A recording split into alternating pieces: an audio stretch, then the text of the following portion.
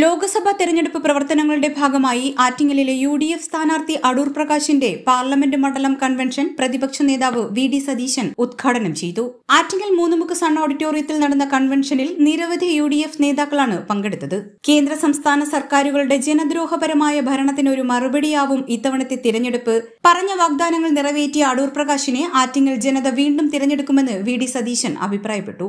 കേരളത്തിൽ ഐക്യ ജനാധിപത്യ മുന്നണിയുടെ നേതൃത്വത്തിൽ വർഗീയതയ്ക്കെതിരായി ഫാസിസത്തിനെതിരായിട്ടുള്ള വിട്ടുവീഴ്ചയില്ലാത്ത പോരാട്ടം.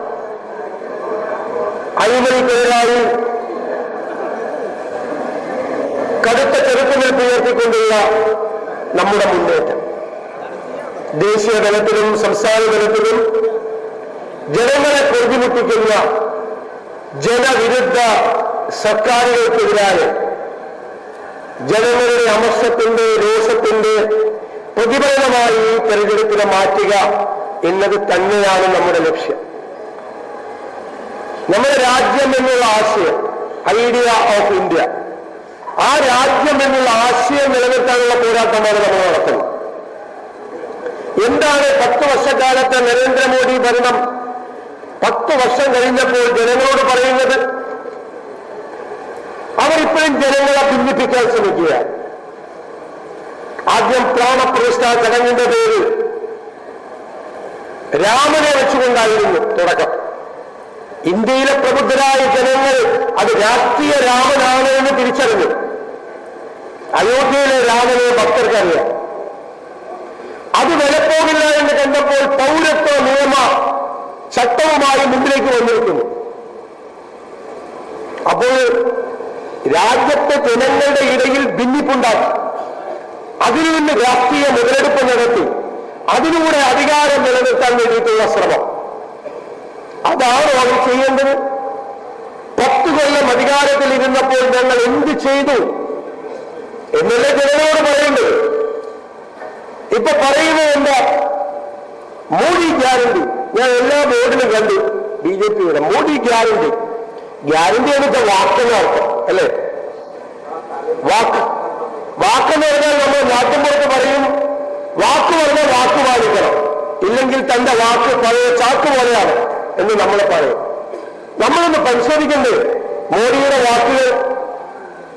രണ്ടായിരത്തി പതിനാലിന് മുമ്പ് മോഡിയുടെ ഗ്യാരണ്ടി ഉണ്ടായിരുന്നു ഒന്നാമത്തെ ഗ്യാരണ്ടി എന്തായിരുന്നു? പാചകവാതകത്തിന്റെ വില കുറയ്ക്കും അന്ന് നാനൂറ് രൂപയായിരുന്നു പാചകവാതകത്തിന്റെ വില. ഇന്ന് എത്രയാണ്? ആയിരത്തി ഇരുന്നൂറ് രൂപ. ഒരു അവസരത്തിൽ പോലും കുറച്ചിട്ടില്ല. കൂട്ടിക്കൊണ്ടേയിരിക്കുക. അതാണ് ഒന്നാമത്തെ മോദി ഗ്യാരണ്ടി. മുന്നൂറ് ശതമാനം വില വർദ്ധിച്ചു. ശരിയാണോ? രണ്ടാമത്തെ മോദി ഗ്യാരണ്ടി എന്താണ്? ഞങ്ങൾ അധികാരത്തിൽ വന്നാൽ പെട്രോളിന്റെയും ഡീസലിന്റെയും വില കുറയ്ക്കും. നമ്മൾ അധികാരത്തിലിരിക്കുമ്പോൾ അന്താരാഷ്ട്ര മാർക്കറ്റിൽ ക്രൂഡ് ഓയിലിന്റെ വില സർവകാല റെക്കോർഡായിരുന്നു. അന്ന് മുപ്പത്തഞ്ച് രൂപ നാൽപ്പത് രൂപയായിരുന്നു. ഡീസലിന്റെയും പെട്രോളിന്റെയും വില. ഇപ്പോഴോ? ഇപ്പൊ നൂറ് രൂപ കുറഞ്ഞു. അത് മുന്നൂറ് ശതമാനത്തിലേറെ വില വർദ്ധനവ് മോഡി ഗ്യാരണ്ടി രണ്ട്. ഇന്നലെ രണ്ട് രൂപ കുറച്ചു.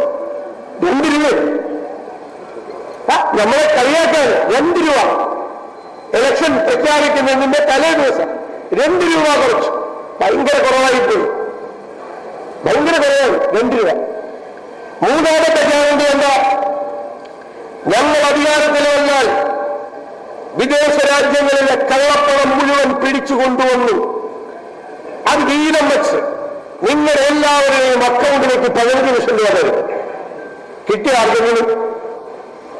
ഞാൻ വിചാരിച്ച് കിട്ടുമെന്ന് വിചാരിച്ചു ശരിക്കും കിട്ടിയില്ല. എന്റെ ഒരു സുഹൃത്ത് അഞ്ചു ലക്ഷം രൂപ കടം വരിച്ചു ഇത് കിട്ടുമെന്ന് വിചാരിച്ചു. നമ്മൾ മലയാളികൾ എപ്പോഴും അങ്ങനെയാണ് ഏതെങ്കിലും പൈസ കിട്ടുമെന്ന് കണ്ടാൽ നേരത്തെ കുറച്ച് പൈസ കടം വരും കടം മേടിച്ചവരൊക്കെ പെട്ടു. കിട്ടിയ ആർക്കെങ്കിലും കിട്ടിയോ? ഒരു രൂപ കിട്ടിയോ? ഗ്യാരണ്ടിയാണ് നാലാമത്തെ ഗ്യാരണ്ടി ഞങ്ങൾ വന്നാൽ തൊഴിലില്ലായ്മ പൂർണമായി ഇല്ലാതാക്കുന്ന. വേദിയിൽ അടൂർ പ്രകാശ് അദ്ദേഹത്തിന് അടക്കം പാർലമെന്റിൽ ഈ സർക്കാർ എഴുതിക്കൊടുത്തൊരു മറുപടിയുണ്ട്. എന്താണെന്നറിയാമോ തൊഴിലില്ലായ്മയെ സംബന്ധിച്ച്. അതായത് ഇന്ത്യ സ്വതന്ത്രമായതിനു ശേഷം. കേട്ടോളാം. രാജ്യം സ്വതന്ത്രമായതിനു ശേഷം ഇത്രമാത്രം തൊഴിലില്ലായ്മ ഉണ്ടായ ഒരു കാലം ഉണ്ടായില്ല കഴിഞ്ഞ അഞ്ചു കൊല്ലം പോലെ ഏറ്റവും കൂടുതൽ ഇന്ത്യ ചരിത്രത്തിൽ അതാണ് നാലാമത്തെ ഗ്യാരണ്ടി. അഞ്ചാമത്തെ ഗ്യാരണ്ടി എന്താ? കർഷകരോടാണ്. നിങ്ങളുടെ വരുമാനം ഇരട്ടിയാണ്. ആയോ ഇരട്ടിയായോ കർഷകന്റെ വരുമാനം? ഇവിടെ ഉണ്ടല്ലോ ഈ നിയോജകമണ്ഡലത്തിൽ കർഷകരുണ്ടല്ലോ അവർ പറയട്ടെ അവരുടെ വരുമാനം ഇരട്ടിയായോ? അല്ലെങ്കിൽ അവർക്ക് ജീവിക്കാൻ നിവൃത്തിയില്ലാത്ത സാഹചര്യമായോ? മണ്ഡലത്തിന്റെ എല്ലാ ഭാഗത്തു നിന്നുമുള്ള പ്രവർത്തകർ കൺവെൻഷൻ ഹാളിലേക്ക് ഇരമ്പിയെത്തി. ഖരഘോഷങ്ങളോടെയും മുദ്രാവാക്യ വിളികളോടെയും പ്രവർത്തകർ കൺവെൻഷന് ആവേശം പകർന്നു. Rajya Sabha M P J B Methar Palode Ravi Shibu Baby John Shamsuddin M L A V S Sivakumar C P John മുൻ speaker N Sakthan Peethambara Kurup Karakulam Krishna Pillai Varkala Kahar G Subodhan Venugopal Gayathri S Nair K Omana R Lakshmi Beemapally Rasheed Sarachandra Prasad Kottarakkara Ponnachan Karumam Sundaresan Eravoor Prasannakumar Hari തുടങ്ങിയ U D എഫിന്റെയും ഘടകകക്ഷികളുടെയും നേതാക്കന്മാർ പങ്കെടുത്തു. H P news twenty four into seven.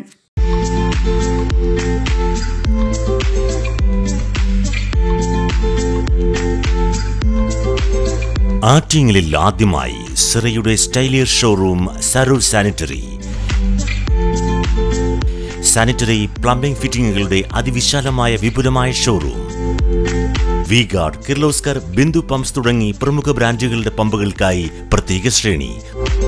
ഒപ്പം R R water ഹീറ്ററുകൾ നിങ്ങൾക്ക് യഥേഷ്ടം തിരഞ്ഞെടുക്കാം.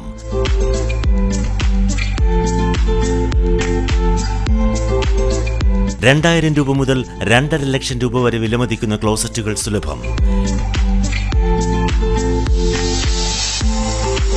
മിതമായ വിലയും ഗുണമേന്മയും ഉപഭോക്താക്കൾക്ക് ഉറപ്പു നൽകുന്നു.